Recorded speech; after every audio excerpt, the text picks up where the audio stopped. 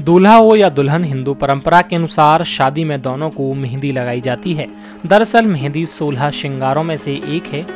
यह न केवल सौंदर्य बढ़ाती है, बल्कि इसके लगाने के पीछे तथ्य यह है कि मेहंदी की तासीर ठंडी होती है और हाथों में मेहंदी लगाए जाने का उद्देश्य अपने धैर्य और शांति को बनाए रखने का प्रतीक माना जाता है।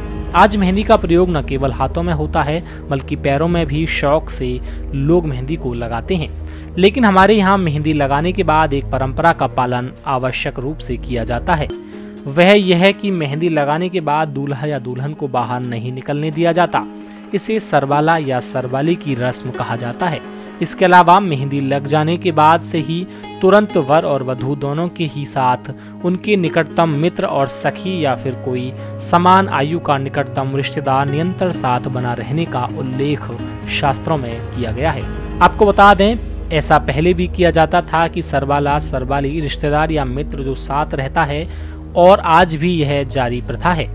इसके पीछे भी कोई रूणी या दखियानुसी धारणा नहीं है, बल्कि ऐसा इसलिए किया जाता है कि यदि कोई नकारात्मक शक्ति उस समय वहाँ हो तो वह शक्ति संशय में रहे और वास्तविक वर वधु को किसी नकारात्मक प्रभाव से बचाया जा सके।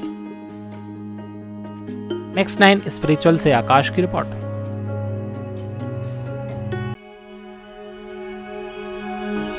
Oh.